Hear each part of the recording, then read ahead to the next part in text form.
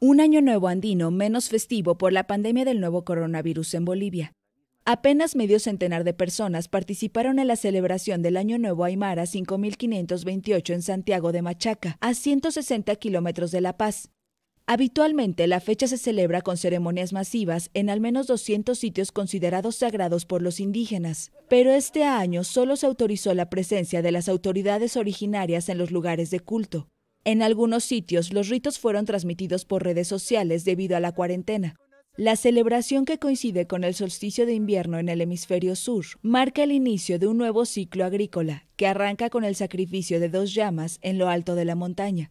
Sus corazones se colocan en una ofrenda adornada con coca, la hoja sagrada de los Andes, dulces de colores, hierbas aromáticas y trozos de lana que son depositados en una fogata.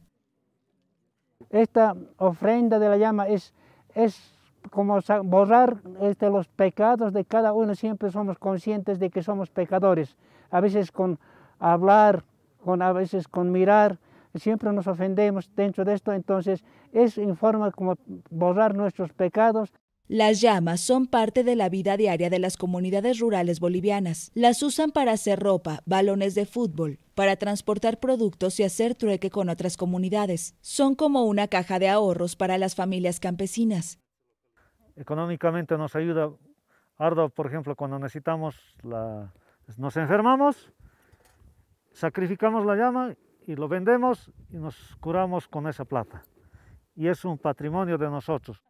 La celebración del Año Nuevo Andino fue elevada a calidad de feriado nacional por el expresidente Evo Morales, quien estuvo este año ausente por primera vez en más de una década por estar exiliado en Argentina.